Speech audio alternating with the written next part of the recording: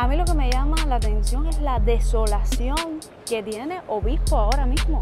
Miren el Cook, ¿se acuerdan de los famosos Cook? Ya pasaron a la historia, ahora mismo están en un museo. Hay turismo, hay turismo. Desde hace algún tiempo yo les había prometido grabar un video en una calle muy especial de La Habana.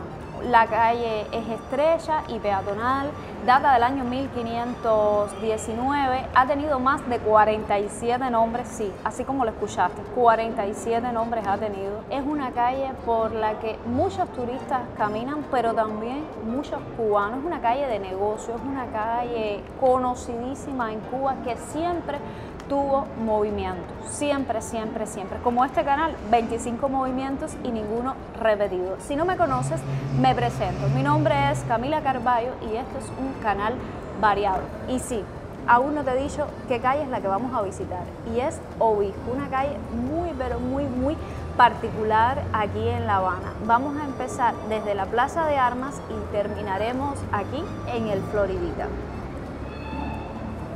de Weyler, del obispo, de San Juan, ha sido uno de los tantos nombres que ha tenido la calle Obispo. Desde el año 1936 es que se le llama Obispo. Hay muchísimas fachadas neoclásicas que contrastan con las viejas fachadas coloniales. El sentido que tuvo la calle en un inicio era resguardarse del sol y algo que me llama la atención que es una de las pocas calles de adoquines que tiene Cuba. Recuerdo que cuando estudiaba en la ENA, pues una profesora de actuación pues me dijo que tenía que hacer un ejercicio de investigación de personajes en esta calle.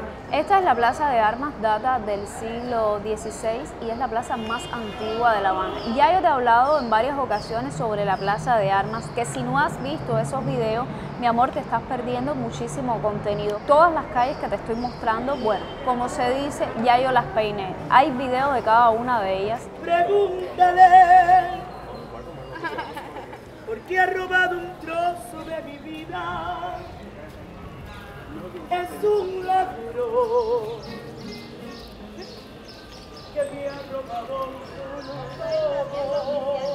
Estamos frente a la primera barbería en Cuba. El primer barbero del cual se tienen noticias en esta ciudad de La Habana lo fue don Juan Gómez, recibido por el Cabildo en 1552 como maestro en el oficio de barbero cirujano. Tremendo datazo, lo que ahora mismo está cerrada por reparación. Ahí lo pueden ver. Bueno, ahí estoy. Les mando un saludo a todos los que me ven. Vamos a seguir caminando por la sombrita, como se dice. Vamos a caminar por la sombrita. Latino 75, Flanga 75. Este es el Museo de la Orfebrería. Bueno, ¿qué precio tiene la entrada? Es libre. Wow, qué belleza. Bueno, dice que es de zafiros. Oh, esto vale un huevo. Qué belleza todo lo que hay aquí. Bueno, los relojes están parados en el tiempo, pero aún así son muy bellos y al menos están conservados. Reloj de carruaje.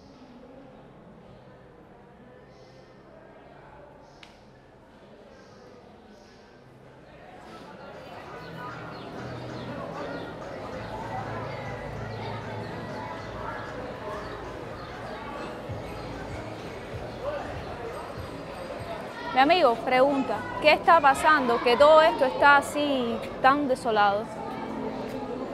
¿Cómo que están desolados? Siempre a esta hora hay movimiento, hay poco movimiento. A ver, lo que pasa es que una que son las 12 días. Ajá, normalmente baja. Normalmente siempre obispo siempre se ha mantenido eh, bastante personas, pero es que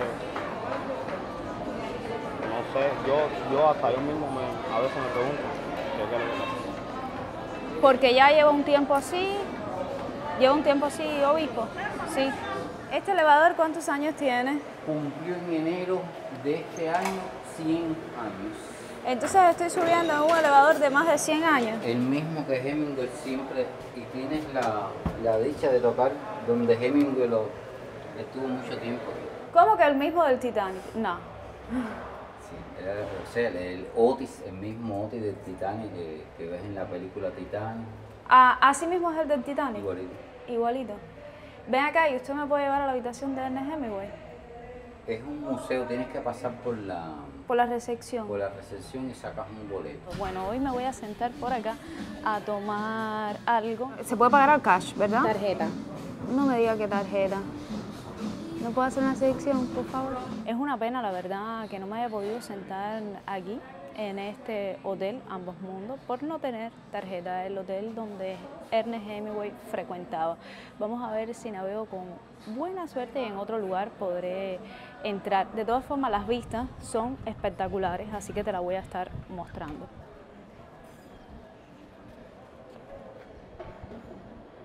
Ahora mismo yo no tengo ni una sola tarjeta en, en moneda nacional, entonces tengo que esperar. Ya seguro viene el elevador. Dicen que es desde el mismo año del Titanic donde Ernest Hemingway ponía sus manos. Entonces voy a esperarlo. La verdad es que hace muchísimo sol, entonces grabar afuera está un poco complicado. Ahí me encuentro con mi amigo que me va a volver a llevar.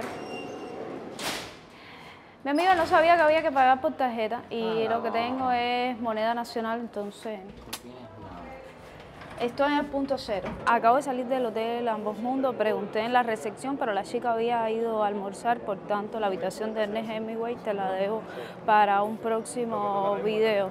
Es lo que pienso hacer. Voy a seguir caminando por acá, mostrándote a ver qué tal, qué es lo que me encuentro, qué es lo que hay. Así que quédate hasta el final del video. Lo que me llama muchísimo la atención es que la calle esté tan vacía. Aquí en Agua y Jabón siempre había una fila grande. Ahí oigo, escucho a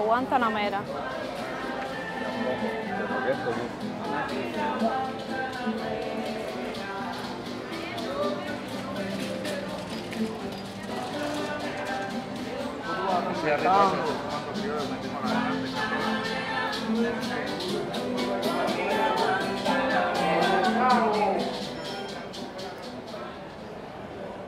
duendes son preciosos, qué bello. Déjame ver si entro a la tienda. No, no había entrado aquí. Vamos a ver si entro. Está cerrada, ¿no? Ah, gracias. Estos son los precios. Me parece que está bastante, bastante caro. Es una tienda de artesanía.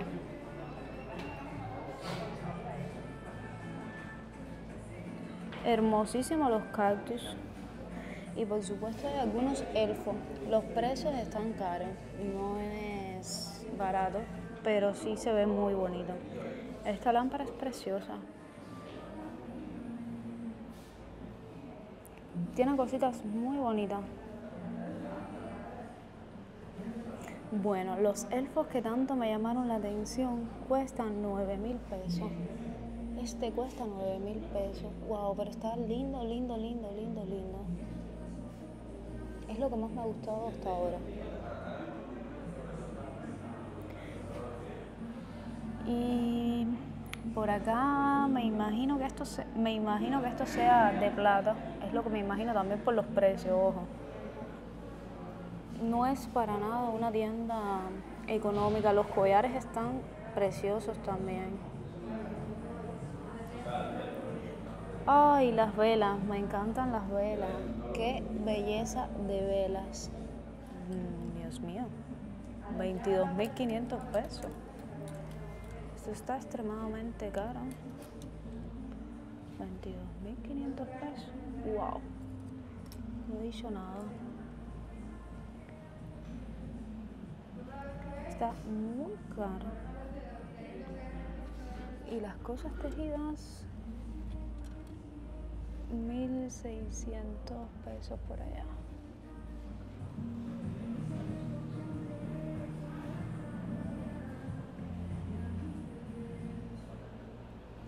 Este lugar tiene cosas muy bonitas, me han encantado, pero el precio están caliente, caliente como decimos aquí en Cuba, que te encuentres, no sé, esa ropa en 22.400 pesos me parece una locura. Es verdad que hay cosas muy bonitas, muy bien hechas, el trabajo artesanal también tiene un plus agregado, pero me parece una locura, esa es la verdad.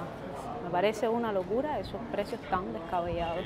Este lugar donde venden pizza me parece económico para las pizzas que yo me he encontrado aquí en La Habana Vieja. Mm, cuestan 200 pesos, pero ya les digo, para las pizzas que yo me he encontrado en La Habana Vieja me parece económico.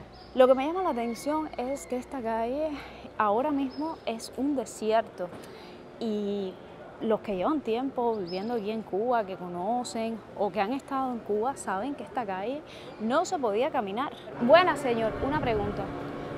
¿Qué pasa en Obispo? ¿Por qué la calle está así? ¿Es el horario? Hoy no se sabe por qué pasa, porque todo el horario aquí, el Obispo está más lleno. Hoy no se sabe. Ah, hoy no se sabe. Es hoy, pero desde que empezó la mañana está así. Está así, es el día hoy nada más. El Obispo siempre está más lleno, pero hoy está así, así. Las ventas están pobres también. Las ventas están pobres, ¿verdad? Gracias, señor, por la información. No se preocupe que no lo estoy grabando usted, estaba grabando para allá, para la calle. Gracias. Le acabo de preguntar a un señor sobre el tema de la calle, por qué es que está así, y me dice que es hoy, que es una cosa muy rara, que las ventas han bajado y que la calle está así. Es lo que me dice él, pero que normalmente si vengo en otro horario u otro día, puede que haya más personas. Yo voy a venir en otro momento a grabar aquí porque esto me ha llamado muchísimo la atención, lo que más me ha llamado la atención igual es la calle completa, es un vacío, es una desolación tremenda que no, realmente no entiendo, no, no, no entiendo.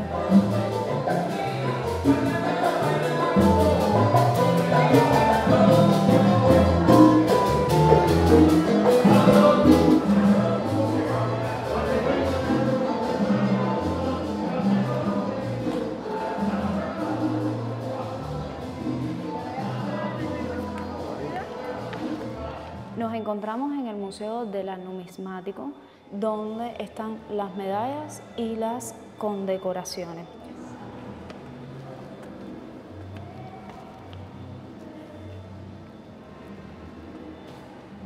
¿Ese reloj funciona? Sí, pero hay que darle cuenta. Ah, hay que darle cuerda, pero funciona.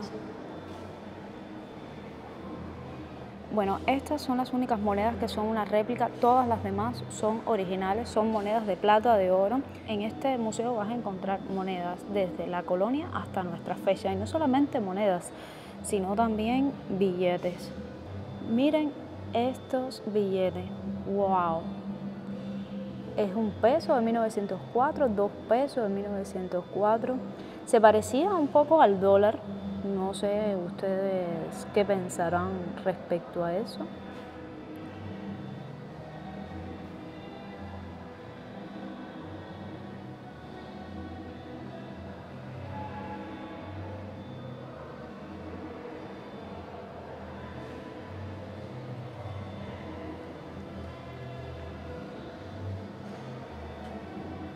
Ya para el año 1960.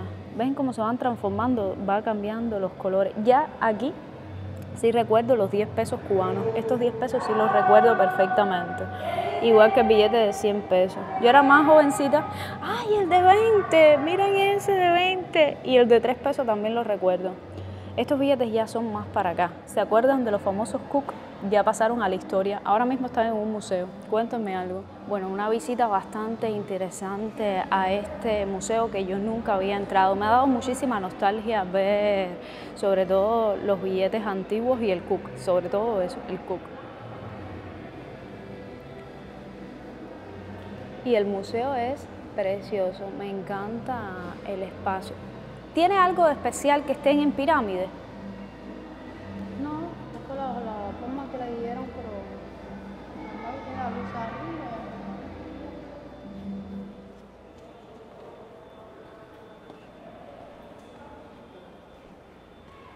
Aprovecho para mandarle un saludo a mi querido Antonio Villamil que se desapareció y me dijo que yo nunca iba a grabar en este museo. Y sí, grabé. Besito bien grande para mi querido Antonio que me dijo, no Camila, tú nunca vas a poder grabar en el Museo de las Monedas. Y bueno, pues sí, grabé, logré encontrarlo abierto. Me estaba comentando la persona que me atendió en el museo que dice que la calle está así también por el calor. No sé, yo voy a seguir preguntando a ver por qué la calle está tan desolada. Mi amiga, bueno, déjame hacer una pregunta. ¿Por qué la calle está tan vacía? ¿Qué pasa? El turismo, la gente no quiere salir por el sol. Por el sol. Pero por la mañana está, hay más gente. O... No, todo el día, todo el día. Pero en los veranos baja la cantidad de personas aquí en Obi. Claro, Sí, ¿eh? eso. Me llama muchísimo la atención que está muy vacía. Y cuando baja el sol, eh, Así es. vacía igual. No hay turismo, no hay turismo. No hay turismo. Está bien, gracias. Le acabo de preguntar también a una muchacha que por qué la calle estaba así y lo que me dice es que es por el calor y porque el turismo bajó. Entonces al bajar el turismo no hay mucho movimiento y que igual pudiera venir en la tarde que me lo iba a encontrar así. O sea que no vale la pena eso que les había comentado de hacer dos videos, ¿no? O sea, venir en otro horario y ver si la calle se mantiene de esta manera.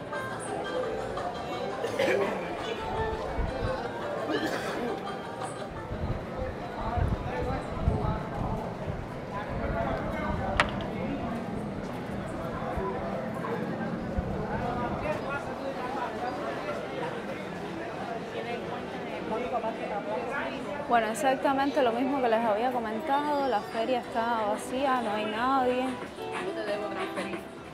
Por eso. Por eso. Puede ser. Hola, hola. En mi cabeza yo me había imaginado un video diferente a esto que estoy grabando ahora mismo, pero realmente, como siempre te digo, una cosa es lo que tú haces cuando estás sentadito en casa, sea leyendo, estudiando y tal, y otra cosa es la realidad, cuando chocas con la realidad. Y realmente lo que veo es que hay mucho vacío, ya sea en la feria, esa feria siempre habían personas comprando souvenir para llevarse para sus países o incluso si tú ibas de viaje a otro país, tú decías, bueno, voy a llevar un regalito de Cuba, un presente de Cuba y lo llevabas a otro país, ¿no? A mí en lo personal me da muchísima tristeza ver esto tan vacío. Mi amigo, pregunta, ¿qué está pasando que todo esto está así tan desolado? ¿Cómo que están desolados? Siempre a esta hora hay movimiento, hay poco movimiento. Ver, lo que pasa es que una que son las 12 días.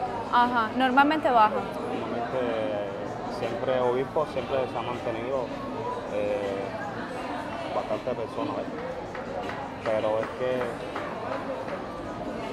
no sé, yo, yo hasta yo mismo me, a veces me pregunto qué es lo que pasa. Porque ya lleva un tiempo así, lleva un tiempo así, obispo.